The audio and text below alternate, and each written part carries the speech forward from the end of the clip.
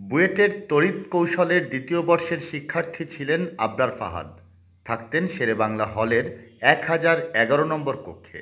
বুয়েট ছাত্রলীগের একদল নেতাকর্মী দু হাজার উনিশ সালের ছয় অক্টোবর সন্ধ্যার পর তাকে ওই হলের দু হাজার এগারো নম্বর কক্ষে ডেকে নিয়ে যায়।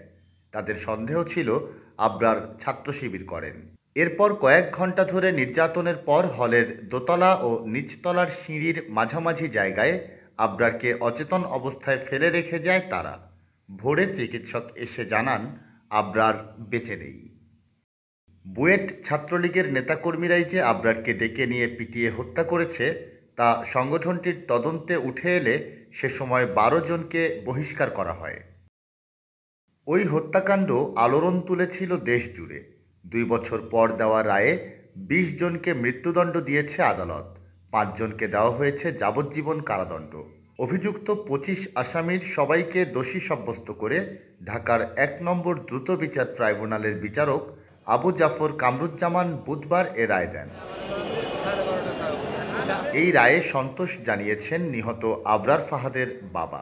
আজকের এই মামলাতে যে রায় হলো, এই রায়টা যেন উচ্চ আদালতে বহাল থাকে এবং সকল আসামি যেন উচ্চ আদালতে সর্বোচ্চ শাস্তি যেন বহাল থাকে।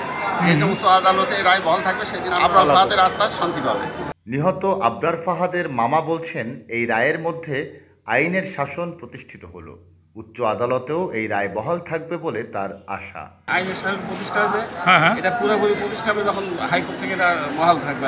রাষ্ট্রপক্ষের প্রধান কৌশলী বলছেন এই রায়ের মধ্য দিয়ে শিক্ষক অভিভাবক সহ প্রত্যেকের সজাগ হয়ে যাওয়া উচিত। তাহলে আমি বলব যে এই ধরনের ঘটনা যেন আর না ঘটে এটাই যেন শেষ ঘটনা হয়। এবং যারা যাদের প্রতি এই শাস্তির ঘোষণা হয়েছে তারা বুঝতে পারছেন যে কী ধরনের অপরাধের সাথে তারা জড়িত ছিলেন বা তারা কি করেছেন। ভবিষ্যৎ প্রজন্ম এবং ভবিষ্যৎ শিক্ষা প্রতিষ্ঠান এবং ভবিষ্যৎ শিক্ষক মণ্ডলী সকলে এ ব্যাপারে ভুলে যাবেন না যেন। সকলে ভুলে যাবেন তারা যেন সতর্ক। আদালত বাইশ জন আসামির উপস্থিতিতে রায় ঘোষণা করে। বাকি তিন আসামি মামলার শুরু থেকেই পলাতক।